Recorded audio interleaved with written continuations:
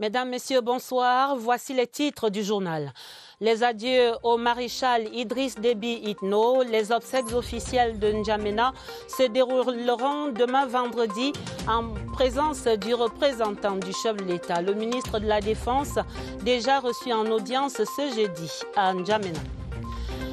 Les nouveaux investissements de la Banque africaine de développement pour l'élevage et la pisciculture au Cameroun. Le programme était lancé ce jeudi à Yaoundé. Les retombées sont dans ce 20h30. Les escargots, source de protéines et de revenus sûrs, nous irons voir l'engouement pour cette nouvelle filière. Dans le journal, le dossier des régions fait escale au pas de l'escargot à Obala, dans la région du centre. Voilà pour les titres. Développement après ce message.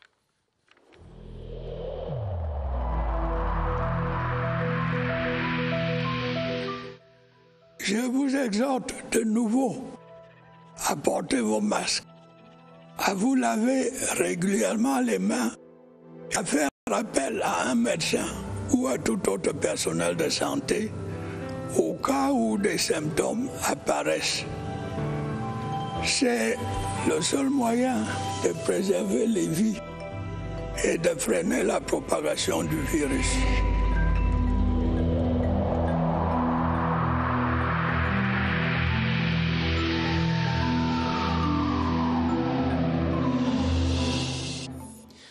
Nous ouvrons le journal à. Le Tchad pleure son maréchal. Le pays vit au rythme du deuil de 14 jours qui culmine demain vendredi avec l'inhumation d'Idriss Déby Itno dans son village natal, Amjaras. Et le président Paul Biya, euh, sous son autre titre de président de la conférence des chefs d'État des pays membres de la communauté économique et monétaire de l'Afrique centrale, écrit que la conférence a appris avec consternation et une profonde tristesse la nouvelle de la mort du maréchal Idriss Déby Itno, président de la République du Tchad, survenu le 20 avril 2021 des suites de blessures subies au combat pour défendre l'intégrité territoriale et la sécurité de son pays. La conférence des chefs d'État des pays membres de la CEMAC salue avec émotion la mémoire du président Idriss Déby Itno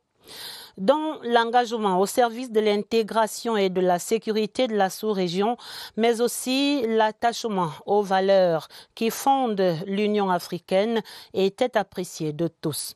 La conférence des chefs d'État et de gouvernement des pays membres de la CEMAC présente à la famille du maréchal Idriss Déby Itno, au gouvernement et au peuple tchadien ses condoléances les plus attristées et l'expression de sa profonde compassion. La des chefs d'État des pays membres de la CEMAC assure le gouvernement et le peuple tchadien de son entière solidarité ainsi que de son attachement résolu à l'intégrité territoriale, à la stabilité et à la sécurité de la République du Tchad. C'est donc un, un, télégramme de condoléances signé ce 22 avril 2021 par le président de cette conférence des chefs d'État des pays membres de la CEMAC, son Excellence Paul Biya. De nombreuses personnalités sont donc déjà présentes à N'Djamena pour prendre part aux cérémonies prévues place de la Nation demain. Honneur militaire, oraison funèbre. Le président Paul Biya, on l'a dit, est représenté à ses obsèques officielles par le ministre délégué à la présidence chargée de la Défense.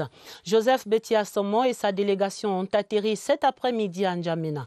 Le cérémonial d'accueil est le point de la situation sur place avec l'envoyé spécial la CRTV à Tabadino Omar. N'Djamena ouvre ses bras et essuie ses larmes pour accueillir ses hôtes. L'aéroport Hassan Djamous ne désemplit pas des délégations de chefs d'État et de gouvernement, de représentants de chefs d'État, mais aussi d'invités spéciaux se succèdent à l'arrivée. Tous pour communier avec le peuple tchadien et accompagner le maréchal du Tchad, le défunt président Idriss Déby Itno, mort sur le champ d'honneur à sa dernière demeure. Le ministre délégué à la présidence chargé de la défense, représentant le chef de l'État, Paul Biya, conduit la délégation camerounaise. essentiellement constitué de hauts gradés de l'armée camerounaise. Joseph Betia Somon a été accueilli par Mohamed Sanitanimou, l'ambassadeur du Cameroun en République du Tchad, par le premier conseiller à l'ambassade Omar Onchari et des membres de la direction générale du protocole d'État. Il faisait 40 degrés à l'ombre lorsque l'avion spécial de la Camerco, affrété pour la circonstance, s'est posé en Djamena. Le cortège s'ébranle, sillonnant des artères d'une ville déserte, fortement militarisée, avec des regroupements plus importants de forces de maintien de l'ordre devant les lieux sensibles. N'Djamena, où l'ambiance en cette veille d'obsèques est lourde, l'état d'esprit des habitants aussi entre questionnement, incertitude, tristesse et consternation suite au décès tragique sur le champ de bataille de celui qui venait tout juste de rempiler pour un sixième mandat à la tête de l'État. Idriss Déby Itno sera enterré au cimetière d'Amdiaras, son village natal situé dans le nord-est du Tchad, après une cérémonie d'hommage national. Cérémonie qui s'annonce riche en émotions ce vendredi à la place de la nation de N'Djamena. Le chef de l'État, son Excellence Paul Biya, a adressé un autre message de condoléances, un pli fermé au président du Conseil militaire de transition au Tchad, Mahamad Idriss Déby Itno, qui vient de recevoir cet important message des mains du ministre délégué à la présidence chargé de la Défense. C'était au cours de l'audience accordée à la délégation euh, camerounaise euh, ce soir. Je vous propose d'écouter le ministre euh, Joseph Betiasomo au sortir de cette audience dans une interview avec Atabadine Omar. Nous lui avons remis un pli fermé que lui adresse le président Biya. Il traduit certainement euh, l'étroitesse et la qualité des relations euh, qui unissent nos deux pays, le Cameroun et le Tchad. Deux pays frères nous sommes euh, engagés avec le Tchad dans la lutte contre diverses euh, menaces euh, sécuritaires. Je citerai particulièrement le Boko Haram. Nous sommes membres de la FMM, la Commission du bassin du lac Tchad. Et comme vous le savez, le Cameroun et le Tchad jouent un éminent rôle dans ce combat que nous menons ensemble. Nous sommes également engagés dans une coopération économique très forte. Et de ce côté-ci euh, de la frontière, euh, dans la région de l'extrême nord précisément, la plus grande vigilance est de rigueur depuis le décès du président tchadien, le maréchal Idriss Déby Itno. Et malgré la réouverture de la frontière, les activités socio-économiques tournent au ralenti au débarcadère de Zébé et le trafic a également diminué en intensité pour s'enquérir de la situation sécuritaire cette frontière. Le préfet du Mayo d'Anaï était sur les rives du fleuve Logone où un pont est en construction. Voici les constats sur place. Djamo Aman de CRTV Extrême Nord.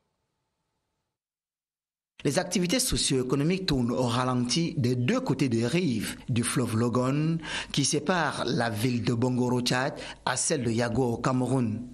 Côté Tchad, le temps semble se figer. Les drapeaux sont en berne. À Zébé, côté Cameroun, au débarcadère, une bonne partie des pirogues sont amarrées.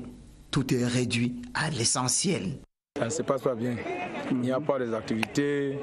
Le Tchadien ne traverse pas. On est là comme ça, bloqué depuis le, le fermeture de la frontière. Pour s'assurer de l'exécution des consignes sécuritaires, l'autorité administrative est descendue sur le terrain.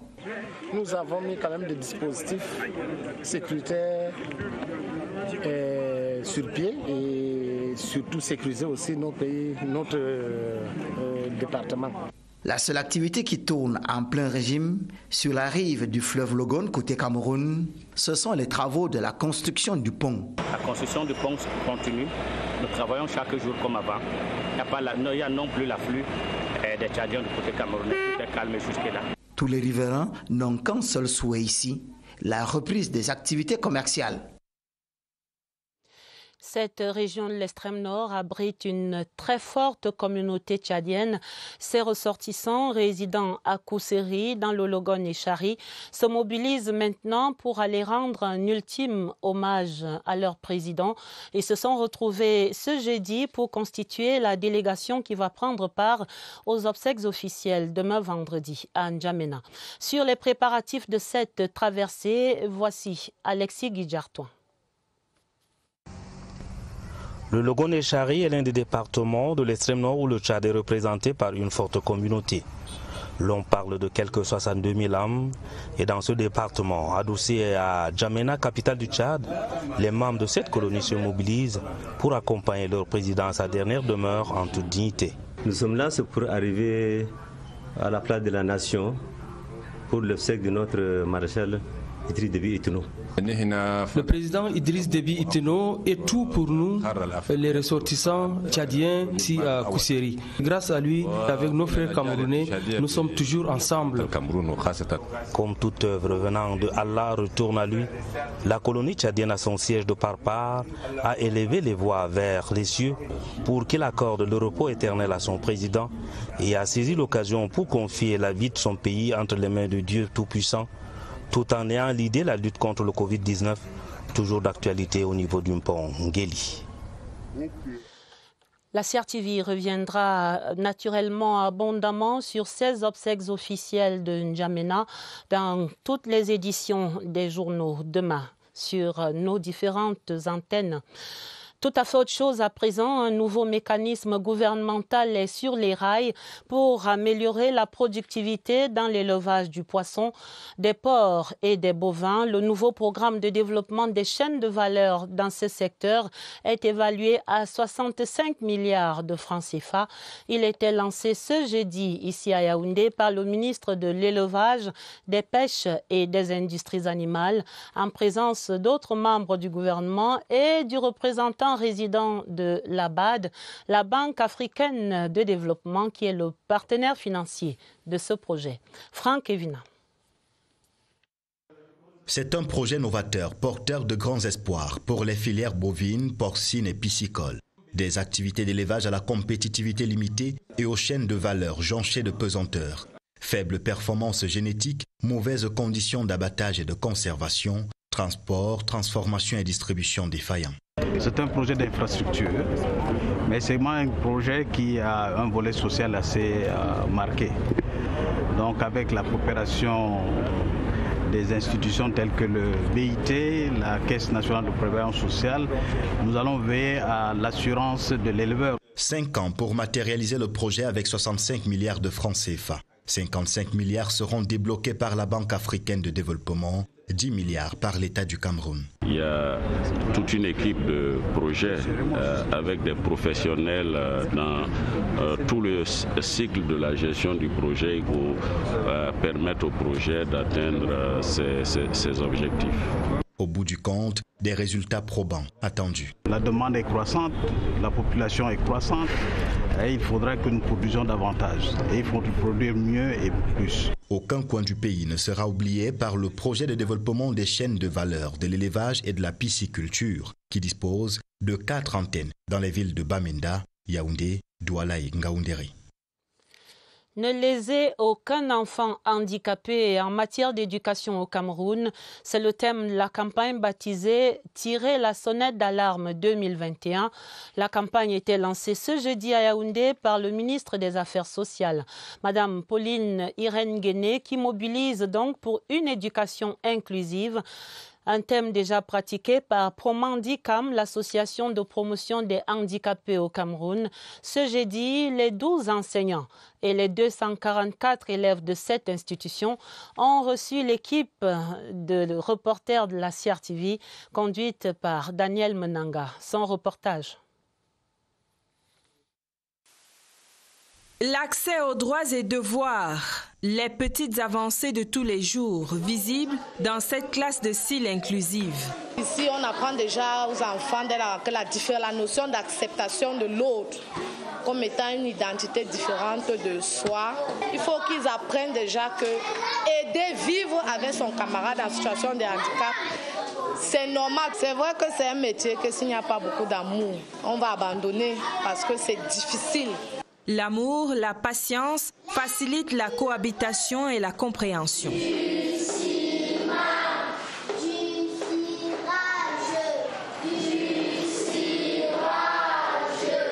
Mais le chemin vers la pleine autonomie des enfants vivant avec un handicap est encore long. La campagne Ring de Belle est une campagne initiée par l'un de nos partenaires, Lilian Fond, Edith Programme, qui est censée parler de la sensibilisation de grande envergure, inciter les parents à envoyer leurs enfants à l'école, car l'éducation est un droit pour tous. L'amélioration de l'environnement, le recyclage de l'apprentissage, l'Association pour la promotion des personnes handicapées du Cameroun en a besoin après 46 années d'existence.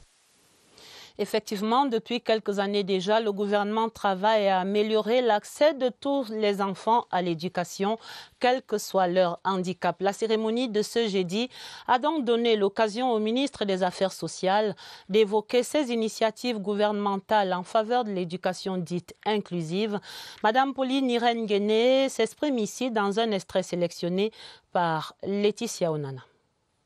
Le ministère des Affaires sociales s'assure de l'octroi chaque année des subventions aux institutions ou aux œuvres sociales privées et associations d'encadrement éducatif des personnes socialement vulnérables, notamment des enfants déficients auditifs, mentaux et visuels. L'octroi des aides financières et matérielles aux élèves et étudiants handicapés, avec l'appui de ses partenaires dans le cadre des compétences transférées par l'État aux communes, du fonctionnement de 68 écoles inclusives sur l'étendue du territoire, la formation des éducateurs spécialisés et tout récemment l'adoption par notre pays du projet de loi autorisant le président de la République à ratifier le traité de Marrakech qui vise à faciliter l'accès des aveugles, des déficients visuels et des personnes ayant des difficultés de lecture des textes imprimés aux œuvres publiques. Des clochettes euh, et d'autres trompettes sonnaient ainsi partout à travers le Cameroun aujourd'hui. Le Cameroun et les autres membres de l'Union africaine des télécommunications désormais édifiés quant à la meilleure gestion du spectre des fréquences radioélectriques. Madame le ministre des Postes et Télécommunications publiait ce jeudi par visioconférence les recommandations de l'instance continentale. Irène Njanafuda, notre reporter, relève ainsi l'importance de ces fréquences dans l'amélioration des services de télécommunication. La mobilisation autour de la modulation des fréquences radioélectriques met sur la même longueur d'onde les pays membres de l'Union africaine des télécommunications. Leurs représentants crèvent l'écran pour faire connaître les recommandations issues des travaux consacrés à la gestion du spectre de ces fréquences pour une meilleure qualité des services. Et c'est la voix du Cameroun qui porte le message à l'attention de tous. Ces recommandations constituent un important guide pour nos administrations dans l'amélioration de la gestion du spectre de fréquences radioélectriques dans un contexte de forte sollicitation de cette ressource limitée mais essentielle au déploiement des technologies émergentes nécessaires aux populations en vue de leur émancipation. La politique de gestion des fréquences radioélectriques à l'échelle continentale repose désormais sur des fondamentaux. Le contrôle du spectre des fréquences radioélectriques s'avère donc nécessaire pour cesser de brouiller les ondes et limiter les interférences qui ont pignon sur rue dans le secteur des télécommunications. Les zones rurales qui continuent de se réjouir de ces espèces sonnantes et trébuchantes.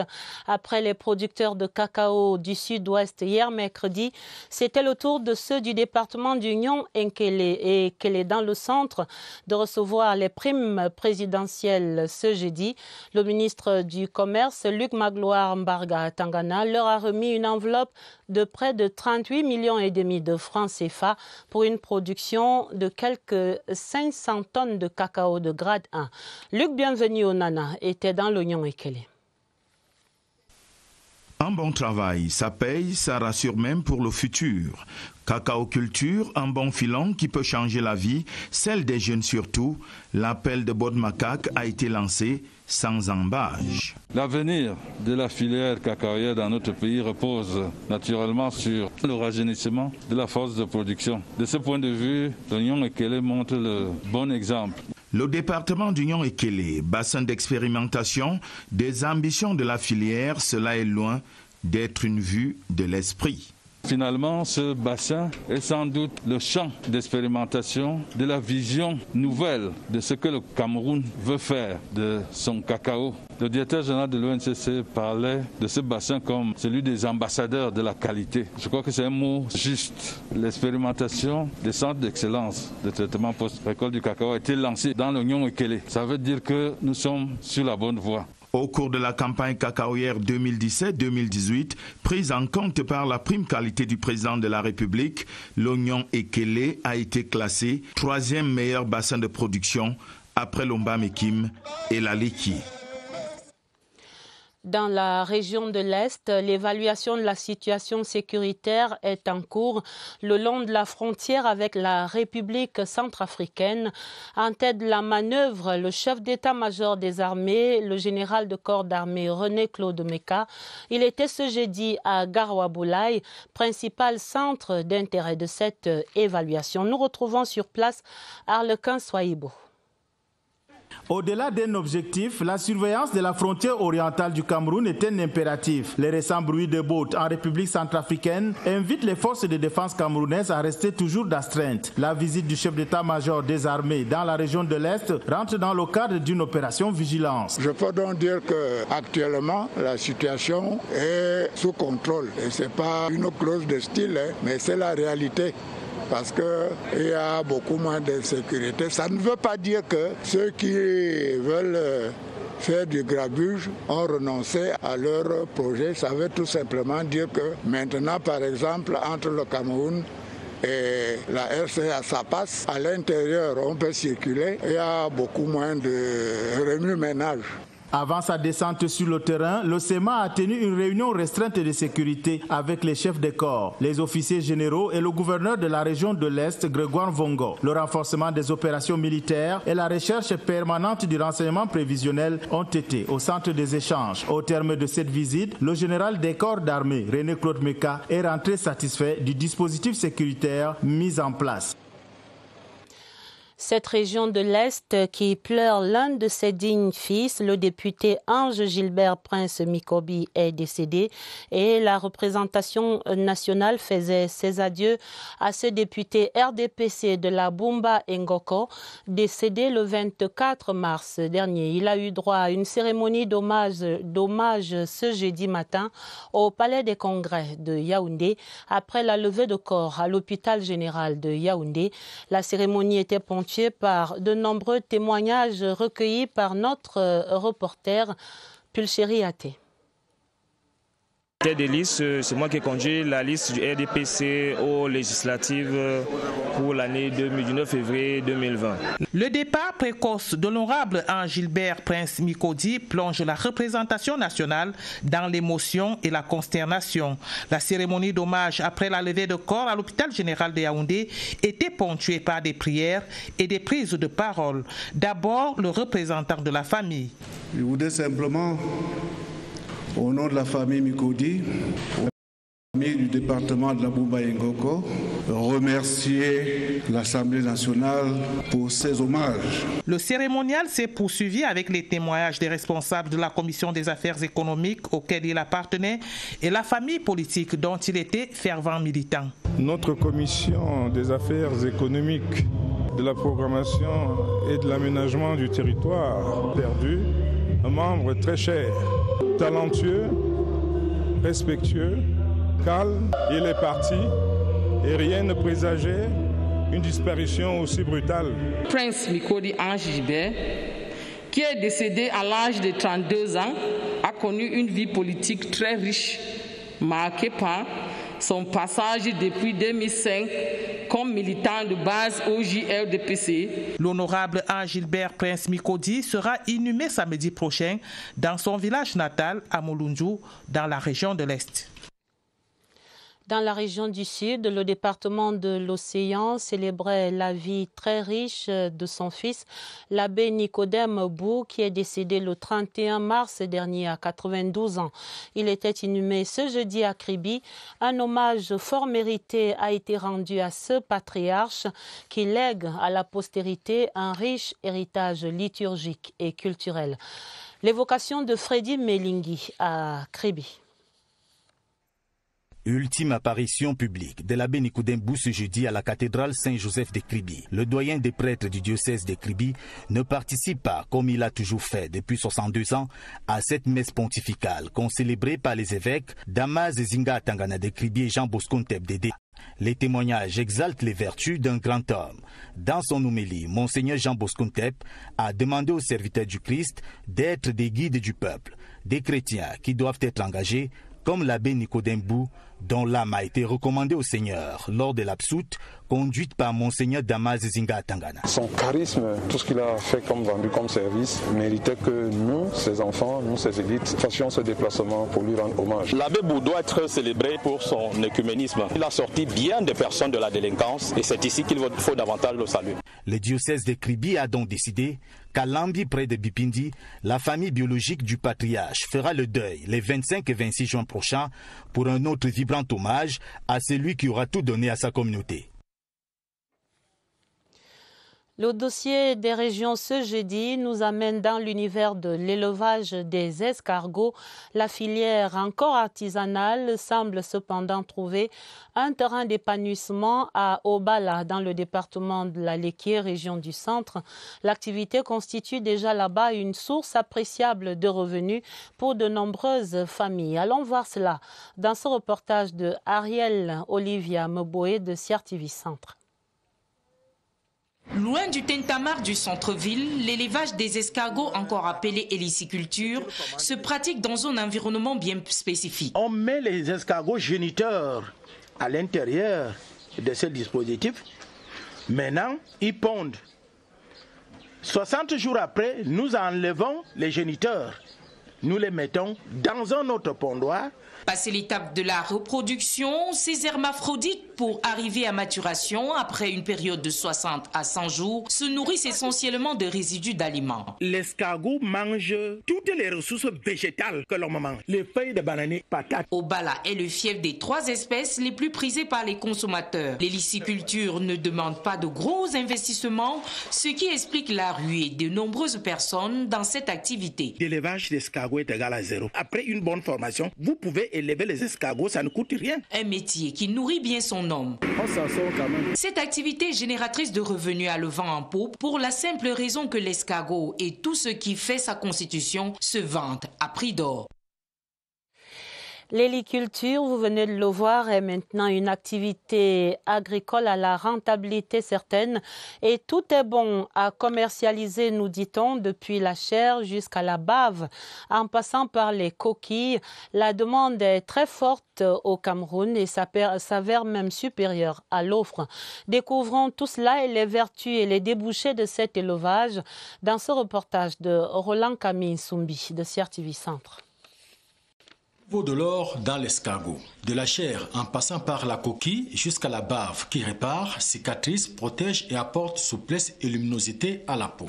Les vertus sont énormes. Tu peux utiliser la bave d'escargot parce que ça aide naturellement pour enlever les boutons, pour nettoyer votre peau des végétudes. Pour les femmes, c'est bien de manger les escargots parce que ça a zéro calorie. L'escargot est un mets très consommé et les fins gourmets s'en délectent. Il n'y a pas une comparaison avec notre viande dans le monde. L'escargot n'est pas lourd comme la viande rouge. La bave et les coquilles d'escargot sont utiles aux industries cosmétiques, un vrai trésor de la nature. Tous mes savons sont faits à base de la bave d'escargot et de la coquille d'escargot. C'est un reconstituant, un antibiotique naturel. Les escargots existent en plusieurs variétés, dont la taille, le goût et la texture diffèrent. Les escargots sont importants et délicats et mériteraient d'être connus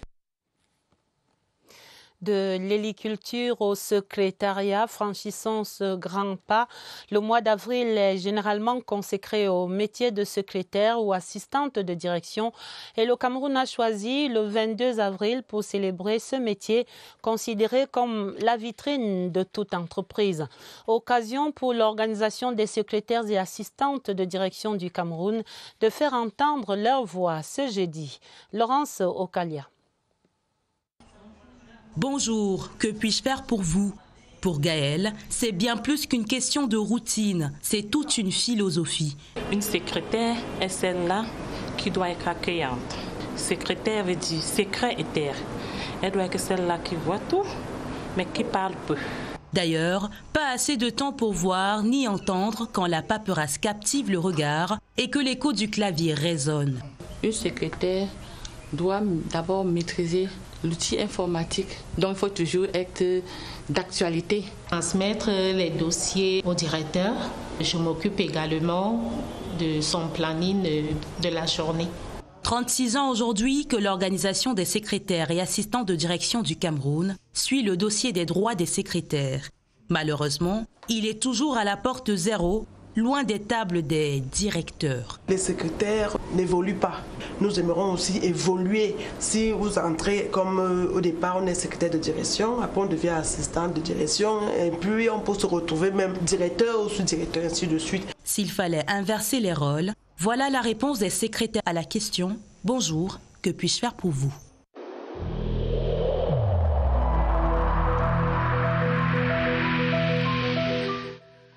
Je vous exhorte de nouveau à porter vos masques, à vous laver régulièrement les mains et à faire appel à un médecin ou à tout autre personnel de santé au cas où des symptômes apparaissent. C'est le seul moyen de préserver les vies et de freiner la propagation du virus.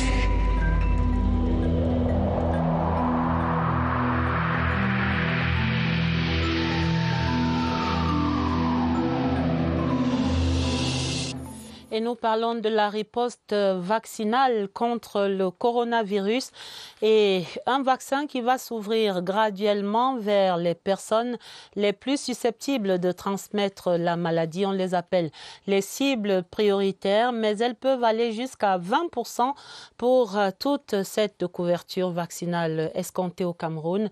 Nous allons entendre d'autres chiffres et d'autres précisions dans cet entretien de Evariste Yenga avec son invité qui nous attendent déjà au centre des opérations des urgences de santé publique à Messa. Bonsoir Évariste.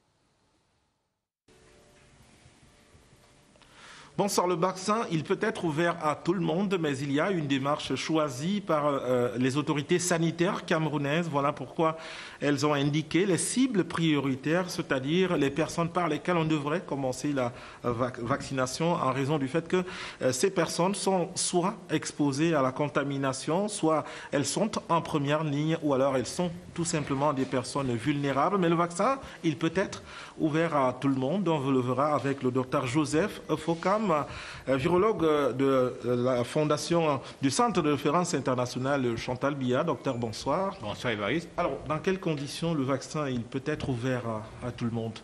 Évariste, le Cameroun a mis en place un plan de redéploiement du vaccin contre la COVID-19 qui naturellement commence par des populations cible prioritaire, mais qui graduellement ira vers la population générale, donc tout le monde qui est âgé de 18 ans et plus, avec pour le moment une cible de 20% de couverture qui devrait être atteinte au Cameroun.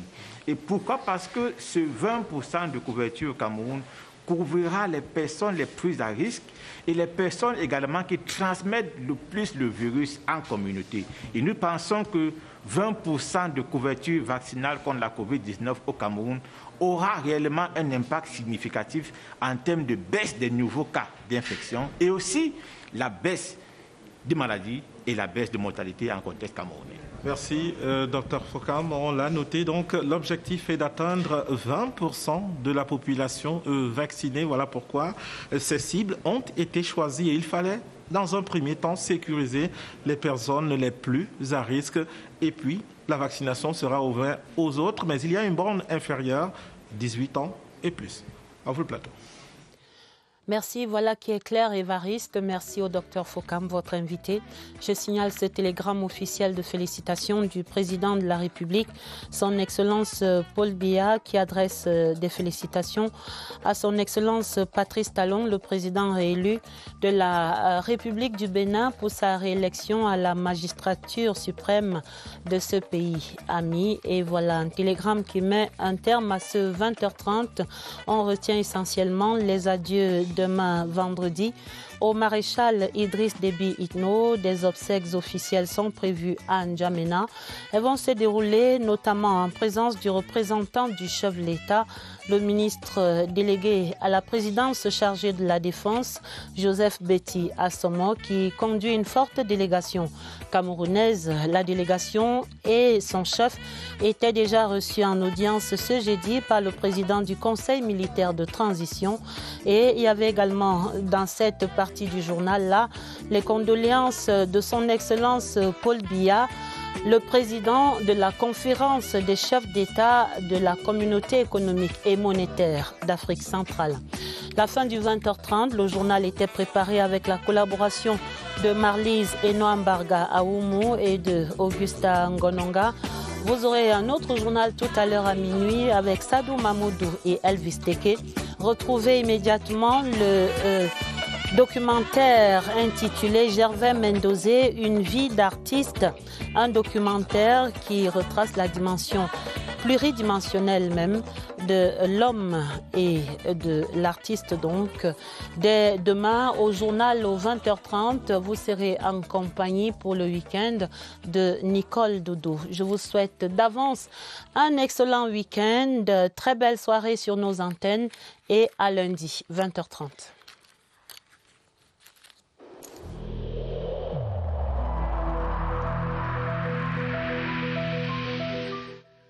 Je vous exhorte de nouveau à porter vos masques, à vous laver régulièrement les mains et à faire appel à un médecin ou à tout autre personnel de santé au cas où des symptômes apparaissent.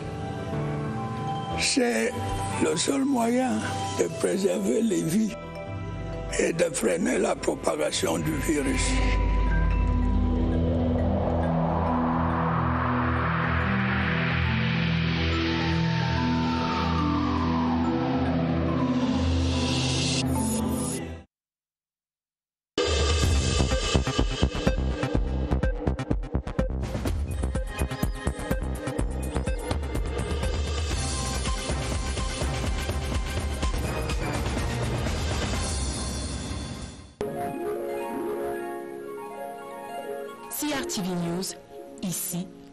CRTV News, ici, toute l'info.